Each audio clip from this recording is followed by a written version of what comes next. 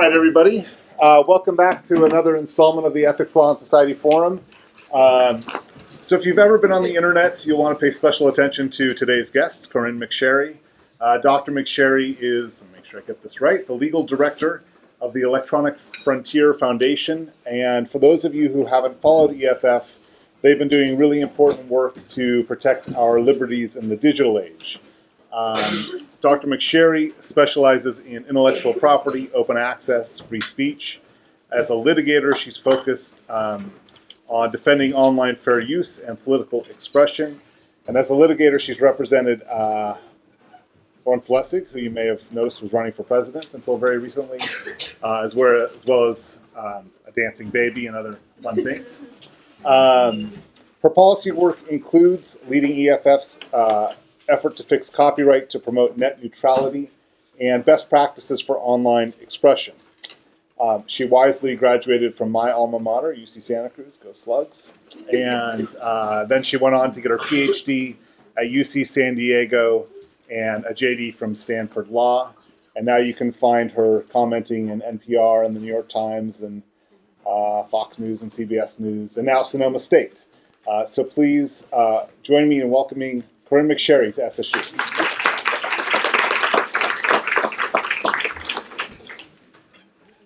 Hi, everybody. Sorry I'm a little bit late. I got lost on my way to San Francisco. No, I should know because it's not that hard.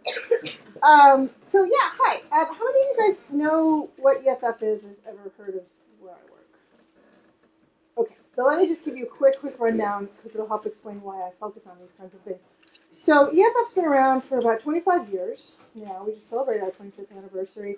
And for our entire existence, we're a nonprofit organization, and we focus on protecting your digital rights. So pretty much all things internet, we have our hands in it. Um, most of our work is legal, so I'm, I'm the head of the legal team. We're 14 lawyers, and we focus on what's called impact litigation, which is the kind of litigation where you go to court because you're trying to change the law make the law better, um, or sometimes just protect the freedoms that we currently have. Um, so that's a lot of our work is um, is going to court. Um, we also fight for your freedoms in Congress. So we work to improve um, the law, and um, in that when, when it's not working in the courts, sometimes you got to go to Congress, and sometimes when it's not working in Congress, you got to go to the courts. We do it all. We also have an activism team, and um, they sort of get the word out about the work that we're doing, and also try to um, educate people about important issues like net neutrality and copyright and privacy. Um, and we also have a set, a set, of technologists who are working to protect your privacy online using technological means. So um, providing tools so you can track who's tracking you as you wend your way through the internet. So we're sort of like ACLU for the internet, and we love it, and it's a really fantastic job. And we um, do take interns, so you're interested for an, interested in an interesting internship, uh, reach out to us. Okay, but that's not why I'm here. I'm here to talk to you guys about copyright and end user license agreements and why you should care about them. Um, because part of our work is actually, um, I do a lot of work on copyright issues, and the reason is we have this area of law that's supposed to protect and encourage creative expression, but sometimes it actually gets in the way of uh, creative expression. And also, what's happened is that copyright is sort of showing up in all kinds of weird places. So, actually, all kinds of people who never thought they had to worry about copyright issues, now they have to. Um, so, let me show you why. Okay, the key thing is this software is now ubiquitous, right? So, you have software in your computer, and you have a computer in this, right? But you also have a computer in your car. You might have a computer in your refrigerator. You've probably got all kinds of computers at various parts of your house. All of those are running on software, right? And if, wherever you have software, um, all of these places, game consoles and cars, um, wherever you have software, you have copyright because software is protected by copyright law. Now that in and of itself isn't the problem. Um, I mean, some people think it is the problem that we don't need copyright protection for software, but leave that aside for the moment, okay? Don't have to worry about that. Uh, the point is, though, that if you have software, you have copyright. And if you have copyright, you have restrictions. Right? copyright law comes with a set of restrictions on what you can and cannot do with that software. Um, so you can think of it this way when you're driving your car around, you own your car, but the software in that car that helps it run better, you don't own that. You license that, and that means you don't control it. Um, so, as a practical matter, this plays out in two important ways. so, very often, if you've got software embedded in whatever your device is, whether it's your car, or your phone, or your game console, or your refrigerator, or your toaster, maybe not toasters yet, but only a matter of time. It's probably protected by some kind of digital rights management software. Basically, it's probably subject to some kind of digital lock that the man, the manufacturer has put on it because they well there's a lot of reasons why they might put a digital lock on it but the basic thing is they don't want it to be reproduced and they don't want people tinkering with it so they make it hard to do that by putting a little lock on it um, that too in and of itself isn't the problem because lots and lots of smart people know how to break those locks pretty much go online, anything you want, plug in your device, it'll tell you how to break the DRM on that device if that's something that you want to do, which many people do. So for example, there's a digital lock on your iPhone and you need to break, it's very, very, very easy to break that lock so that you can run apps that Apple didn't approve of, um, which a lot of people like to do. So it's easy to do it if you want to do it, but it's also illegal. And that's thanks to this little area of copyright law, Section 1201 of the Digital Millennium Copyright Act. This is the one, you know, if you take nothing else away from this, you should know that the only thing part of copyright law you really need to know about is the Digital Millennium Copyright Act because there's two parts of it.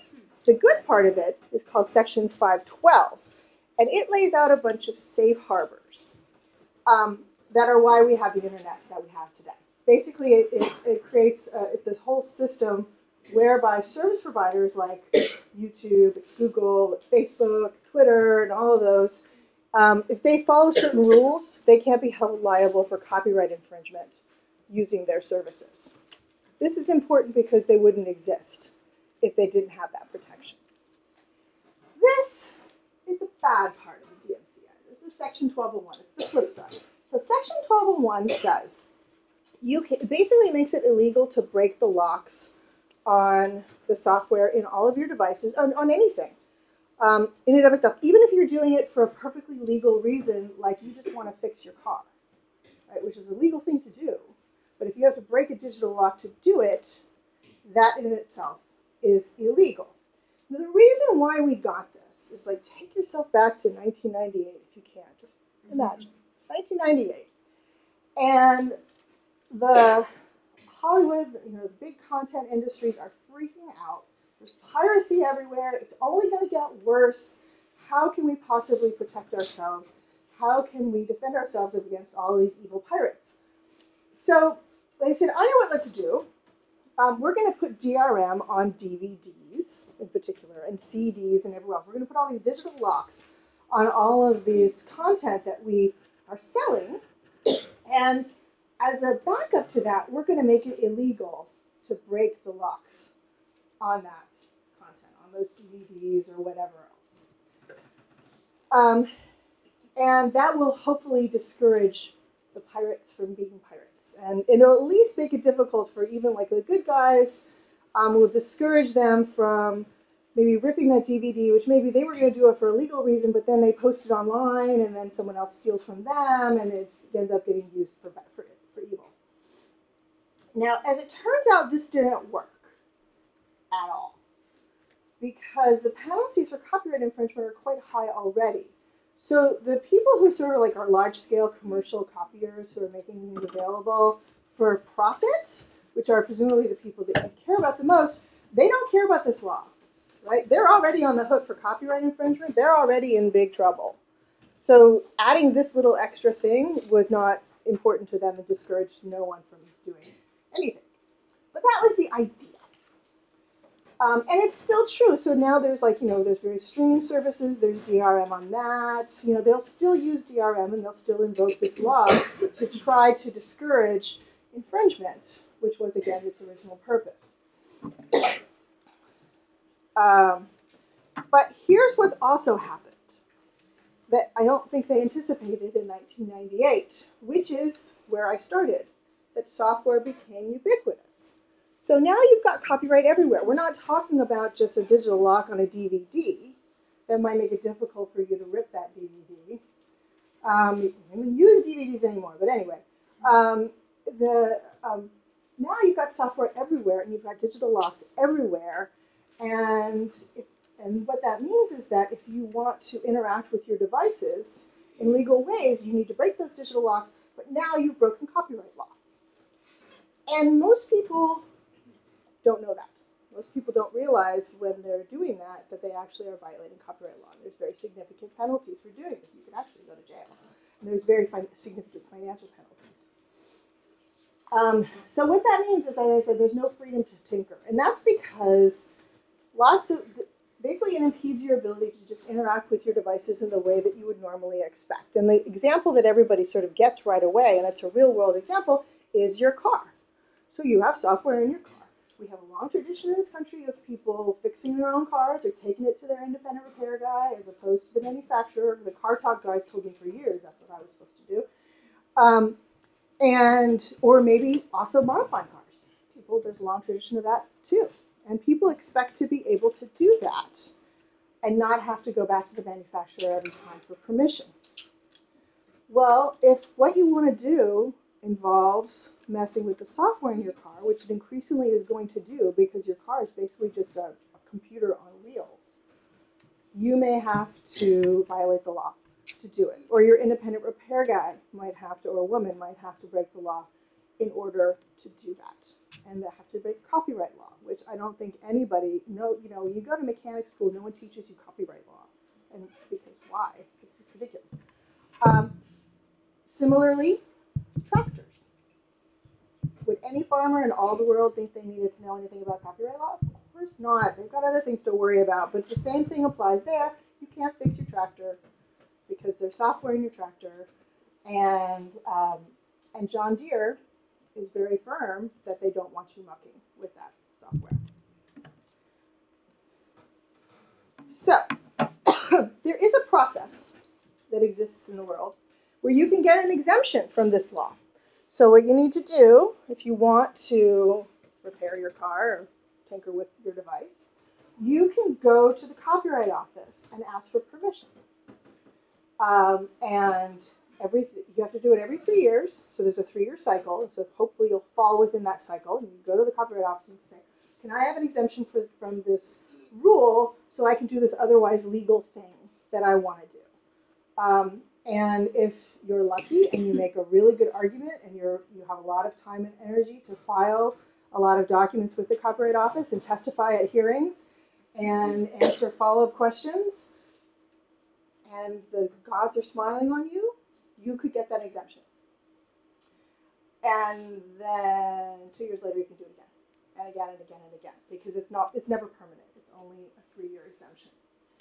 Um, we just went through this process at EFF, as did many other people, asking for exemptions for various things.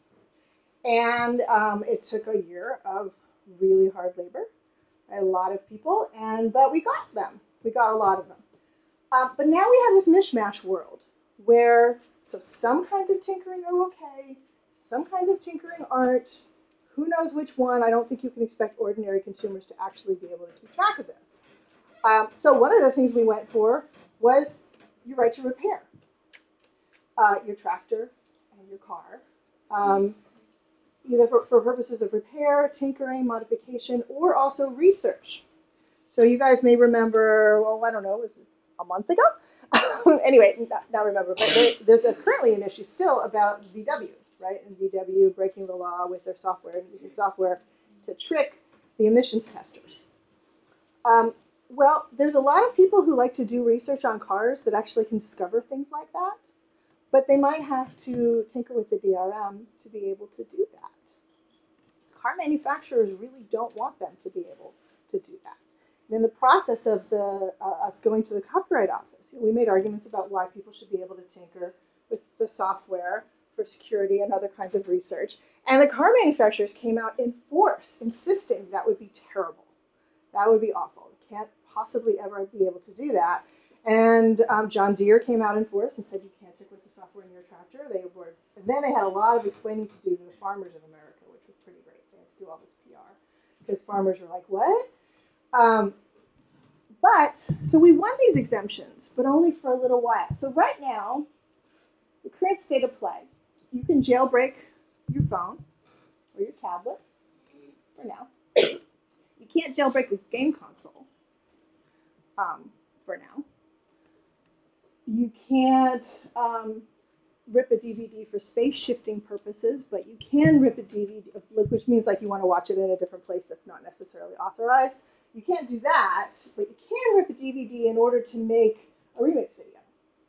So just you have to keep in mind, what am I doing? Why am I ripping? And depending on what your purpose is, it might be lawful, it might not be. Um, you can tinker with the DRM in order to fix your car, but we have to wait a year till that goes into effect because the Copyright Office um, wants the EPA to have a chance to weigh in on it. Um, even though if you break environmental laws, you're already breaking environmental laws, so it's not like a copyright problem. But anyway, um, so these things are all legal. You can't, however, help someone else do any of these things. So that's another wrinkle on this. So you can get an exemption for the act of doing something if you do it yourself. So I can jailbreak my phone, but I can't help any of you jailbreak your phones because that falls under a different category and I'm not even going to get into it, but basically it's that, that basically I would be providing you with tools to assist you in doing something that's otherwise completely legal. And providing tools is never legal. So, and I can fix my own car, but I can't take it to the independent repair shop. So, hope you know, if you're good at fixing your own car, that's great. We helped you, um, but we didn't help your mechanic. I'm sorry to say, and we couldn't. We tried, but we couldn't. Um, and all of this is under the purview of a copyright office. So we went, we're going to the copyright office to ask for permission to do things like mess with your own devices. And the Copyright Office is probably not really the right place to have a veto right on innovation. I mean, they're librarians. They're, you know, and they're librarians and they're lawyers and they're not technologists. But nonetheless, they've been given this job of figuring this out for people. All right, so what else? The other thing that's impeding your ability to control your stuff that you interact with every day, all the time, is something called end user license agreements. So, as I was saying at the beginning, software, you don't own the software in your stuff, you license the software in your stuff. Um, and that means that somewhere along the line, you probably clicked I agree to some big long form contract that you didn't read. No one reads them. It's actually been empirically proven that no one reads them. It's like known thing. Because why? Because there, and actually, someone did a study of like, what if we all actually read the contracts that we agree to all day long? It was like so many person hours. There was like going to be a massive drain on the economy. So really, economically, it's not good for you to read these contracts, but you're agreeing to a lot nonetheless. Courts will uphold them, even if you didn't read them, as long as you clicked I agree. And there's been case after case where people have gone to court and said, look, no one, I didn't read this contract. I wasn't even aware of it. I didn't realize what I was doing. The court says, I don't care. It's a contract. You clicked I agree. You affirmed. You, you assented. And so it's enforceable against you. Too bad. And the problem with these agreements, aside from the fact that they're everywhere, right? I mean, probably you clicked two this morning and you don't even know it. Well, you maybe, hopefully you know you clicked agree, but you didn't read what you did. Um, the problem with EULAs is twofold. One is, as we call them EULAs. One is they're called contracts of adhesion. A contract of adhesion is one that you don't have an, op- an opportunity to negotiate. Any of you, you guys go to law school, you can learn all about this. I won't bore you with it all now. Um, but that is the basic idea. It's a contract that you are not allowed to negotiate. And so partly that's what's called procedurally unconscionable. People procedurally that's unacceptable. But that doesn't make them unenforceable unless they're substantively unconscionable. So if you agree to a mass contract where you sold yourself into slavery, that's not enforceable. Just in case you're worried. No one can enforce that against you. But lots of other things are enforceable.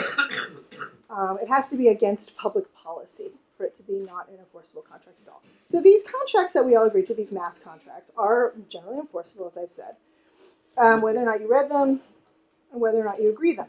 So what's in these contracts? A lot of restrictions on your ability to use your stuff. So there's restrictions on your ability to mess with the software. That's basic, it's there all the time. Um, and what that can mean is that not just because maybe you want to tinker with the software in your device, but also maybe some young startup wants to tinker with the software in the device so that they can provide you some additional service that the original manufacturer isn't giving. Um, but they may not be able to do that because then they're interfering with your contract, and that's illegal too. Um, often you waive all kinds of consumer protections. Um, you wa- may waive your free speech rights. So there's contracts where you agree that you won't so you won't disparage the product that you are um, what you bought. You, you won't say anything mean about your device that you just bought, and you agreed to that in this contract that again you didn't read. um, there's restrictions on your ability to give your stuff away when you're done with it, or even lend it. So there'll be all kinds of restrictions. They'll say you can't lend this to anybody, um, and you can't give it away when it's done. You have to return it to the manufacturer. Again, no one reads these, but they're in there, and, and everybody's bound by them. Um, you may waive your privacy protection, so you may agree that the manufacturer can monitor your activity um, using the device. So there's all kinds of devices where they'll do what we call phoning home. They're basically sending information back to the original manufacturer about like your location, what you're searching for, how you're using the device, other programs, like if it's a computer, other programs on the computer, um, which is a lot of information about you and your life, and you don't know it's getting sent back to the manufacturer, but you've agreed to it, so you know, don't complain. Um, there's also what's called impediments to preservation, and basically what that is is that librarians are facing this a lot. So they want to acquire music digitally, so, and they want to be able to preserve it because that's what they do. They're librarians, they're archivists. That's. Um, and probably lots of musicians want to have that music preserved because they want to be, you know, obviously they're making music for the ages. Um, but if you can only acquire that music digitally via a contract, that contract is going to include restrictions that make it possible for librarians to do that. Um, usually for perfectly good reasons, right? They're thinking about like, well, we don't want unauthorized copies of this music being made. That's how what the music labels are thinking about. The librarians are thinking, yeah, but now I can't actually do something perfectly legal because it's against this contract that I agreed to. So I'll give you an example. This is a um, the end user license agreement for Xbox uh, 360. So this is very standard language. So you can't use unauthorized software or hardware to access the services, the gaming services, nor modify an authorized device, that's your console, in any author- unauthorized way through unauthorized repairs, upgrades, or downloads. So basically, that means if your game, game console breaks, you have to go back to the manufacturer to get it fixed. You can't do anything else because you've agreed that you won't do anything else. Um, and that means that it's really hard for like independent repair shops to continue to exist because their customers are you know, basically they, they're not allowed to have customers, right? So customers are forbidden from going to them. And so, and every now and then, um, you'll have some raid on some small little shop just to sort of send a message to everybody else that they shouldn't be doing this. Um, there are limits on EULAs, which is good. So, you know, there are, for example, you need to have an opportunity to review the terms that you agree to. What that means is practical matter is something needs to pop up on your screen and you actually have an opportunity to look at it. Turns out in practice that's not accomplishing all that much, but okay. Um, there's limits on sometimes if you violate the contract, you might be violating copyright law, which has really significant penalties. And sometimes you're just violating contract law, and that has lower penalties, but I don't. As a practical matter, these aren't really super useful limits. Uh, mostly because smart people like me will just rewrite contracts in some different way that makes it more enforceable. Um, so, why should we worry about this? We should worry about this because I think that we're creating a world in which a lot of the traditional rights and expectations that I at least grew up with, and I hope you all grew up with, are going away. A lot of the sort of ideas that we have that I think actually are kind of like American ideas, which is that we mess, we tinker with our stuff. We own our stuff. When you buy something, you expect that that is yours. Right? You don't expect to be renting it. You expect to be owning it. Uh, but increasingly, those rights are going away. And we aren't as aware of it as we should be. Um, and we should be pushing back on that. Another thing, cost of it, which I alluded to earlier, is we're not getting some of the innovation that we should be getting. Because small startups that could be doing that innovation, who could be giving us cool add-on services for our devices, like new layers on top of our, you know, our, our games, right? But also like new services that would interact with our cars, with our any any of our connected devices. They can't do that add-on innovation because they're forbidden from doing it by all of this sort of this web of restrictions. And so that's creating a situation where you're tied forever back to the original manufacturer of the device that you bought. Right? And they have increasing amounts of sort of control over your options and over your choices. Um, and that means just we're, there's all the innovation that we don't even know we're missing because we're never going to see it because it, it just can't happen because because um, venture capitalists won't invest in startups where they think you're going to be taken down by a lawsuit right away and you're not going to be able to survive. Um, every now and then they will invest in that. I mean, YouTube got their investors, but it's hard. Good news is there are some paths forward. Um, one thing that's happening right now is there's a lot of discussion about copyright reform. Um, going back to the, the car research issue. So when we applied for our exemption, we didn't anticipate the whole VW thing. But that made Congress sit up and take notice and say, wait a minute, it seems crazy that you have to go to the Librarian of Congress to ask for permission to do research on a car that could actually protect public safety. That seems wrong. That seems improper. So a lot of folks in Congress are getting interested in fixing at least that piece of the law. I think they need to do a heck of a lot more, but I'll take what I can get. Um, there's also a number of states that are passing right to repair laws. And basically, these are laws that will limit manufacturers' ability to restrict your ability to repair your stuff. Um, they sort of get that this is harming small businesses and this is harming innovation, and that's something that they can do on a state level. So, um, and also there's other laws that are requiring manufacturers to like make repair information available. This seems like, you know, kind of basic, but there's some manufacturers that won't even let you see the manual in your car. And that's, you know, nuts. Or they'll do, this is another thing, they'll claim that they own what's called diagnostic codes. So nowadays, when you take your car to the repair shop, they plug it in to a machine, and the machine tells basically tells them what's wrong with your car using these diagnostic codes. So different manufacturers use different codes. Why don't they don't standardize? I don't know, but anyway, they don't. So um, they use they all use different codes, and then though they try to they try to claim copyright in those codes. So they'll say to the repair guy, "Oh, okay, we'll tell you what the codes are. We'll give you the, the latest version of the codes, and that'll just be fifty thousand dollars, please." So, and oh, if you don't pay, well, too bad. Then you can't stay in business anymore. um, another thing that I think should happen is what's called preemption. Preemption is when federal law trumps state law. Now, the way that that would work here is that one of the things that happens with EULAs is you waive all these rights, right, in these license agreements.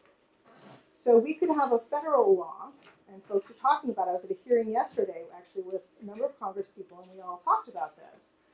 That um, you make a put a provision into copyright law that would actually do some good for the world, and say you can't waive these rights in a contract. These, con- these rights are unwaivable.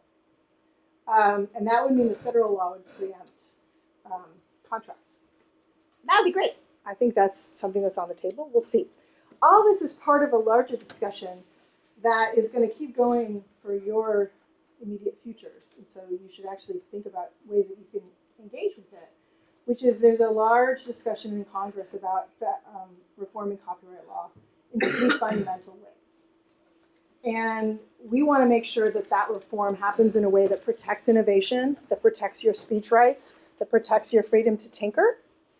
Um, there are other people who want to reform that law in a way that makes penalties for copyright infringement ever higher and that makes it, you know, you can ask them what they think, but ways that I think will, will impede your fair use rights and your, and your free speech rights and impede the ability of people to innovate. Um, because when you make the penalties for copyright infringement too high or you have tools for policing infringement that are too strong, you actually end up getting in the way of lawful things that we want to do, like taking it back to 1201. Right? 1201 was passed for a laudable purpose to try to discourage infringement, but it caused all kinds of collateral damage. All of which is to say, this is going to be a discussion that's going to be happening in Congress. My organization is going to be heavily involved in it, and we are going to be at various points trying to rally folks like you guys to call your Congress people, email, tweet, talk about it, make your views known, pay attention to what's happening with copyright law because copyright law actually ends up shaping your ability to do what you want with your stuff. It's increasingly shaping your sort of basic rights and expectations, and so it's something you really need to worry about. So go to EFF.org, join our mailing list, um, or at least you know follow our Deeplinks blog, and uh, we'll keep you informed on what's going on. So I'm supposed to leave you some time for questions, so I will shut up now and let you guys ask questions. Yes.